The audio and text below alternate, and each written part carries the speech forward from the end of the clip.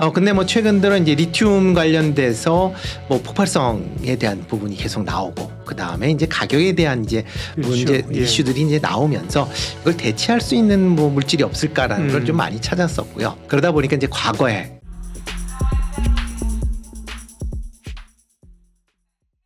안녕하십니까 예민수의 경제 토크 오늘도 투자의 아이디어를 찾습니다. 루크 투자 연구소 임순재 대표님 오셨습니다. 어서 오십시오. 네 안녕하십니까. 2차 전지가 뭐 뜨거운 또 변동성 있었지만 그래도 2차 전지다. 네, 뭐 네, 에코프로 그렇죠. 안 흔들리는 거 보면 대단하고요. 근데 전에와 이제 양상이 좀 다르게 뭔가 새로운 걸 찾으려는 노력, 그죠? 네, 예, 또 그렇습니다. 모더런 거 이런 거를 기대할 텐데 어, 소듐 이온 배터리 얘기를 하신다는데, 네. 네.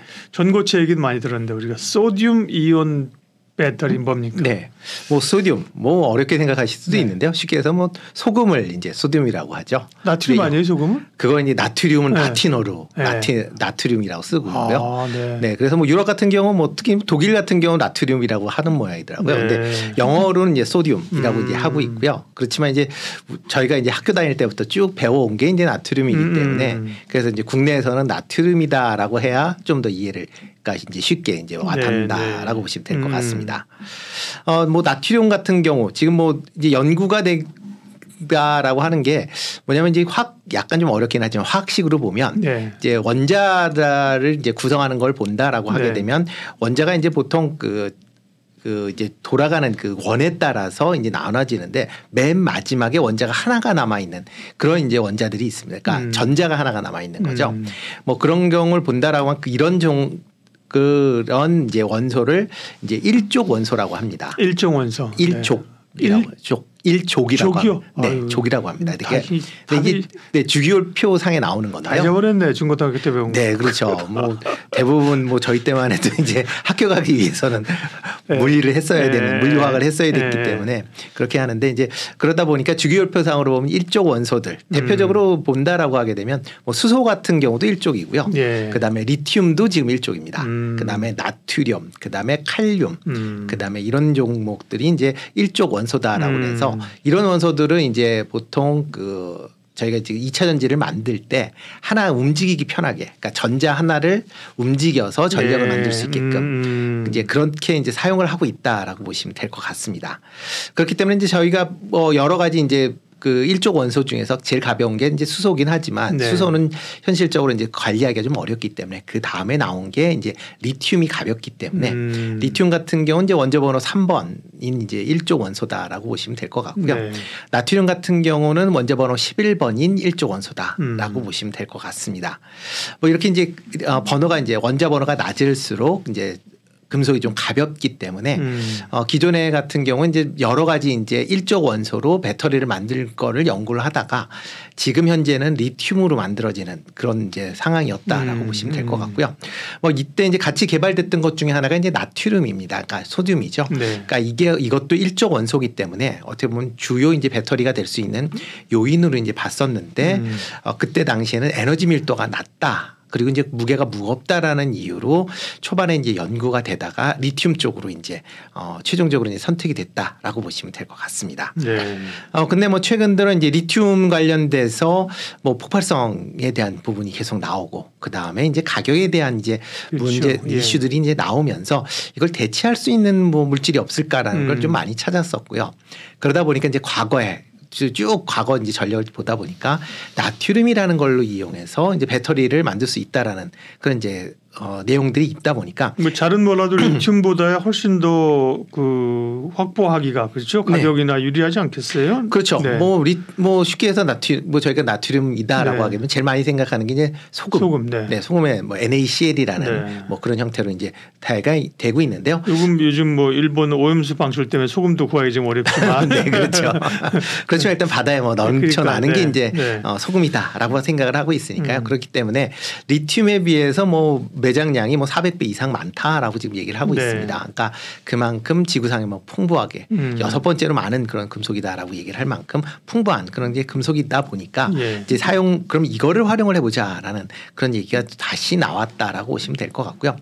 과거보다는 기술력이 그냥 많이 발전이 됐기 때문에 과거에는 뭐 낮은 이제 그 아, 에너지 밀도 그다음에 음. 무게가 무게가 아, 무게가 이제 문제가 됐었는데 지금은 어느 정도 그 부분을 많이 해소했다라고 보시면 될 것 같습니다. 네.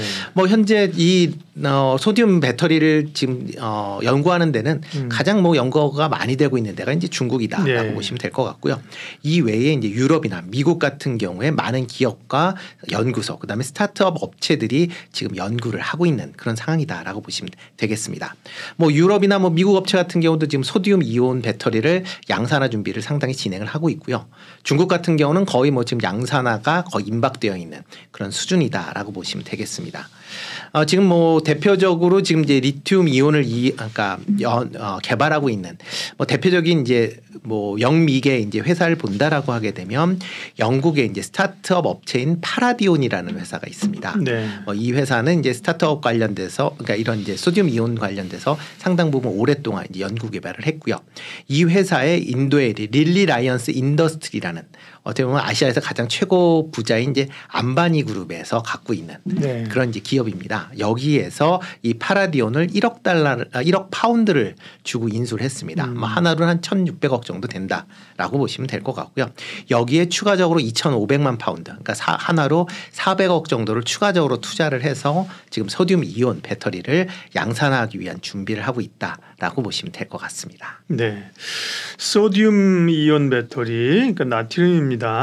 그럼 제가 이제 아까 좀 가격도 싸지 않겠느냐 싶었는데요. 소듐 어, 이온 배터리로 하게 되면 어떤 네. 게 좋습니까? 네. 네, 가장 크게 장점이다라는 게 이제 소듐 이온 배터리는 이제 100% 충방전이 가능하다라는 겁니다. 아, 그러니까 이온 배터리는 화재 위험 때문에 특히 이제 삼원계 같은 경우에는 네. 100% 충전을 권하지 않습니다. 그렇죠. 네, 뭐 테슬라에서 뭐 테슬라 뭐 타보신 분들도 알다시피 보통 한 80에서 90% 정도 네. 충전하고 100%는 충전 하지 말라라고. 충전을 못하게 만들었겠죠 네. 시스템으로 그렇죠. 그러니까 주- 완충 완충이라는 게 아마 네. 뭐한8뭐90% 되는 그런 거 아닌가요? 예, 예. 그러니까 예. 100%를 하지 말아라라고 예. 되어 있고요. 아니 그건 하지 말라고 하면 한다니까요 사람들이 그러니까 아마 그 에너지 효율을 완충이 네. 거기까지 못 가게 해놨을 거예요. 네, 예, 예. 이에 비해서 이제 소듐 배터리 같은 경우는 100% 충방전이 네. 가능하다라는 거고요. 예. 그다음에 가장 중요한 게 이제 가격이 싸다라는 음. 겁니다.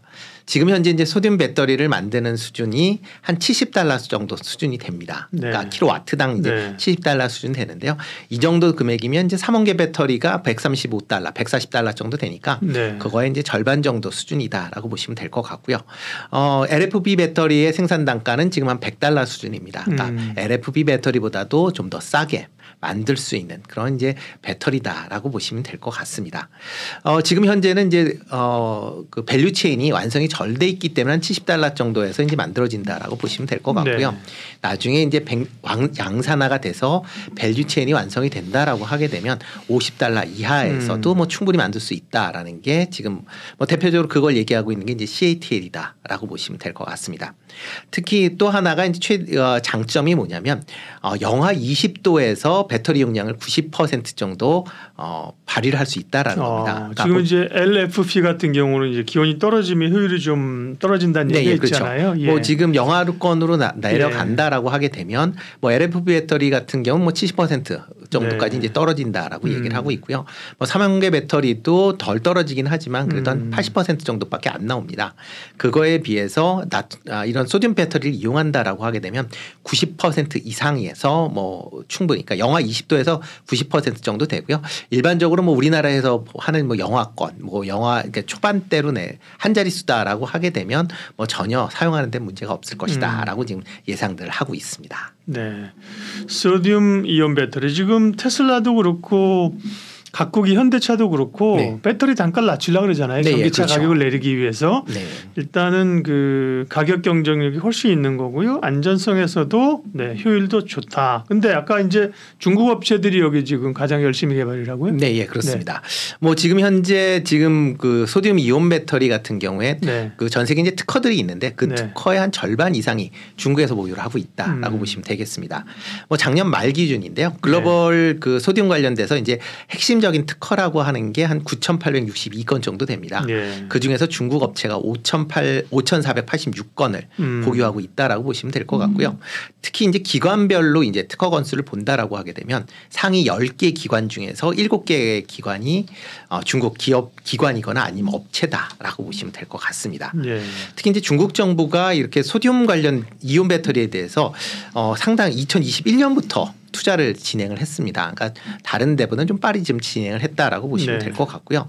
특히 어 이렇게 이제 소듐 배터리를 이제 적, 적극적으로 지원했었던 이유가 이제 가격 경쟁력이 있다라는 거고 그다음에 리튬과는 다르게 그 특허에 대한 부분이 중국 업체들이 상당 부분 갖고 있기 때문에 향후에 경쟁력 측면에서 보면 상당히 아, 유리할 자기네들한테 유리할 것이다라는 측면에서 접근을 했다라고 보시면 될 것 같습니다. 네. 문제는 이제 상용화입니다. 뭐 우리가 전고체 얘기 하면서 game change 얘기하는데 이게 네. 나오면 game change가 될 것 같은데 근데 문제는 아직은 연구 단계이잖아요. 아, 연구 단계보다는 조금 더 지났어요? 진행이 됐습니다. 어, 그러면 이제 상용화가 언제쯤 되는 거예요? 네, 일단 뭐 지금 상용 중국에서는 예. 공장을 만들고 있습니다. 어. 상용화 공장을 실질적으로 만들고 있고요. 예. 뭐 중국 그 이제 배터리 업체들이 원체 많습니다. 네. 뭐 수십 개의 이제 업체가 있는데 음. 그 중에서 이제 하이배터리라는 회사가 있습니다. 네. 이 회사에서는 지금 어 1세대 이제 소듐 이온 배터리를 올해 내에 생산을 하겠다라고 얘기를 하고 있는데요. 음. 1세대의 지금 소듐 배터리를 얘기하고 있는 게 지금 어 킬로그램 그러니까 에너지 밀도가 이제 킬로그램당 160 와트 아워 정도 됩니다. 이 정도 되면 LFP 배터리 정도 된다 라고 보시면 될 것 같고요. 네. 뭐 지금 이 어, 소듐 배터리 같은 경우는 초기에는 아마 자동차보다는 아마 ESS 중심으로 아마 될 음. 가능성이 좀 크다라고 생각을 하고 있습니다. 네. 물론 이제 아까 하나 아, 하이 배터리 같은 데서는 이제 자기네가 뭐 자동차형을 만들겠다라고 네. 얘기는 하고 있지만 음. 초기에는 이제 기본적으로 에너지 밀도가 뭐 LFP 정도 수준이 되기 때문에 바로 장착을 한다라기보다는 음. ESS 중심으로 어차피 ESS를 하게 되면 뭐 일단 배터리 용량보다는 가격이 우선이 되기 때문에 아마 향후에는 LFP 배터리도 이 소듐 배터- 배터리로 네. 아마 전환이 될 가능성은 있다. 아마 음. 이게 거기에서 아마 게임 체인지가 좀 먼저 이루어지지 않을까라는 좀 생각을 해보고 있습니다. 음. 특히 소듐 배터리 같은 경우에는 폭발력이 상당히 적습니다. 그러니까 상당히 적기 때문에 일반적인 리튬, 배, 리튬 배터리는 실내 사용이 상당히 좀 어, 부담스러운 측면이 있는데 네. 이 소듐 배터리는 실내 ESS 장치에도 사용할 수 있다. ESS도 초반에 화재 사건이 좀 있었잖아요. 네, 그렇죠. 네. 그게 대부분 일어난, 일어난 게 음, 삼원계 배터리다라고 그렇죠. 보시면 예, 될것 같고요. 예. 그렇기 때문에 최근에는 대, 삼원계를 사용하지 않고 예. 대부분은 이제 LFP 로. LFP를 사용을 하고 있다라고 네. 보시면 될 것 같고요. 그 LFP보다 이제 화재 위험성은 더 낮기 때문에 음. 아마 소듐으로 아마 전환될 가능성은 충분히 있다라고 생각을 하고 있습니다. 네. 어, 이뿐만 아니라 지금 하, 어, 또 이제 대표적으로 이제 하고 있는 데가 이제 CATL입니다. CATL, 네. CATL은 아마 내년 정도에 이제 2세대 나, 어, 이, 아, 이온 배터리를 이제 양산화할 것이다라고 하면서 지금 공장 건설을 그러니까 후난성 창사에서 지금 하고 있습니다. 네. 이거는 뭐 어, 이거는 올 초에 그 뉴욕 타임즈에서 직접 탐사 보도를 했었던 음. 그런 회사 그건 공장입니다. 그러니까 내부까지는 못 들어갔고요. 뭐 관련돼서 탐사 소듐 배터리에 대해서 탐사 보도를 했었는데요. 음. 그때 본다라고 하게 되면 2세대 배터리 같은 경우에는 지금 킬로그램당 200와트 아워 정도 된다라고 지금 얘기를 하고 있습니다. 그 정도 수준이다라고 하게 되면 뭐 지금 이제 국내에서 대표적인 이제 삼원계 배터리의 대표 모델인 NCM 811과 에너지 밀도가 거의 비슷한 수준이다라고 보시면 될 것 같고 요. 어, 충전 방전 정도가 이제 MCN 계열 같은 경우는 90% 제한한다라고 하게 되면 같은 이제 뭐 이론 같은 이제 에너지 밀도다라고 하게 음. 되면 어, 소듐 배터리가 좀 더 높은 이온 에너지 밀도를 갖는다. 라고 보시면 될 것 같습니다. 네. 아마 내년 초에는 아마 소듐 이온 배터리를 CATL에서 양산할 걸로 그렇게 음. 지금 예상을 하고 있고요. 그리고 이제 또 CATL은 이제 이런 소듐 이온 배터리를 좀 색다르게 이용하려고 하고 있습니다. 어떤 거냐면 리튬 배터리와 같이 혼합해서 사용을 하겠다라는 네. 그런 어, 어, 과정을 지금 개발을 완료했다라고 음. 보시면 되는데요. 뭐냐면 아까 말씀드렸듯이 리튬 이온 배터리는 이제 기본적으로 에너지 밀도가 좋습니다. 특히 네. 삼원계 같은 경우에 좋기 때문에 그 삼원계와 이런 이제 나트륨 이온 배터리를 교차해서 사용을 하겠다라는 겁니다. 그러니까 추운 지역에서는 나트륨 배터리를 음. 이제 사용을 하고 그 기온이 조금 올라간다라고 하게 되면 어, 아니면 뭐 엔진에서 배터리가 좀 열을 받는다 그러면 리튬 이온을 사용한다든가 하는 형태로 하이브리드네. 그렇죠. 예. 하이브리드 형태로 아마 발전될 걸로 예상을 하고 있습니다. 예. 그래서 그거와 관련돼서 일단 뭐 개발은 완료가 됐기 때문에 만약 이 소듐 이온 배터리가 나온다라고 하게 되면 네. 그런 이제 혼재해서 사용을 할 수 있다라고 보여지고요.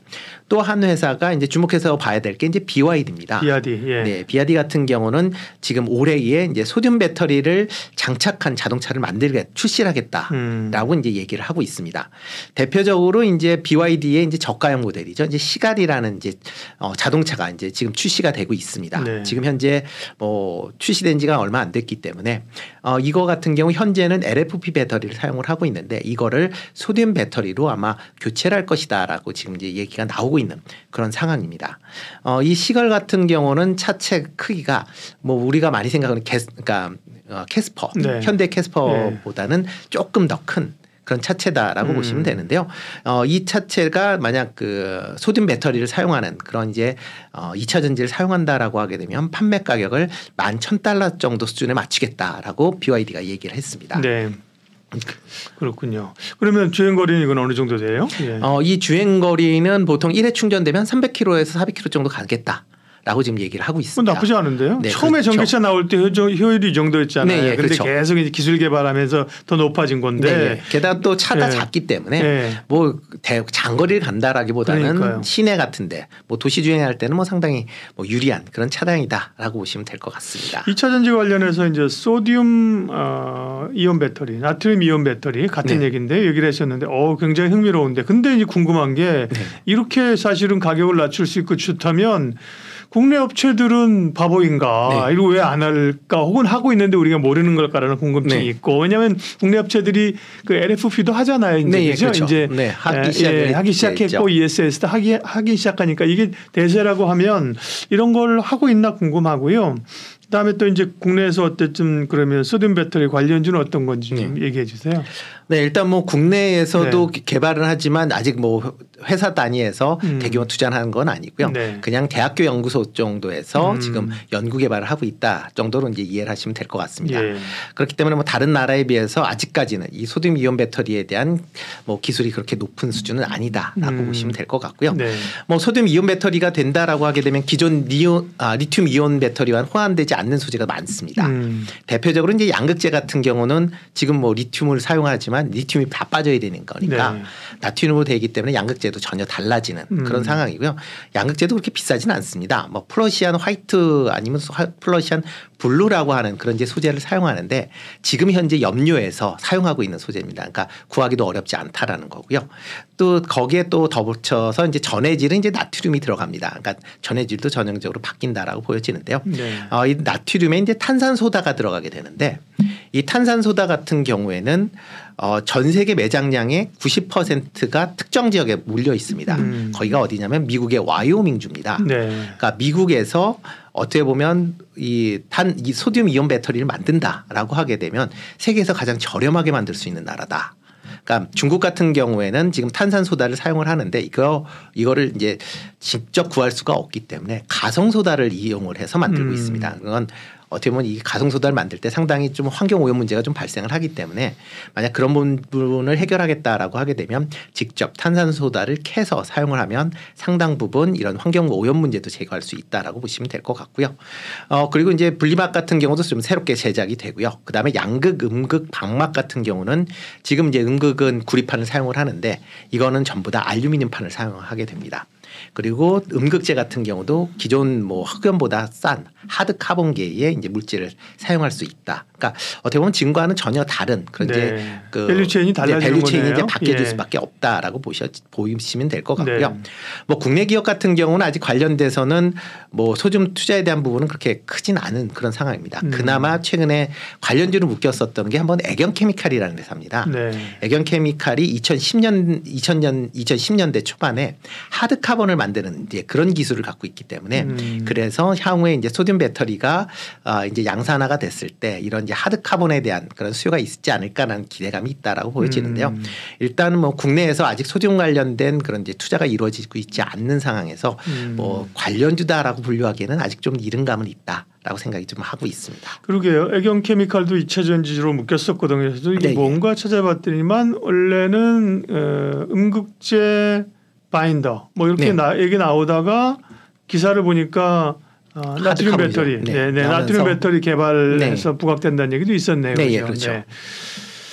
오늘 아주 재밌는 얘기 해주셨는데요. 예, 소듐, 음, 나트륨 음, 배터리, 그죠? 네. 앞으로 이제 어, 개발 과정들을 좀 지켜보면서 네. 이렇게 스터디를 하고 있어야 그죠? 네, 그렇죠. 하고 있어야 그런 뉴스가 나올 때 대응이 가능한 겁니다. 루크 투자연구소 임순재 대표님 함께해 주셨습니다. 고맙습니다. 네, 고맙습니다.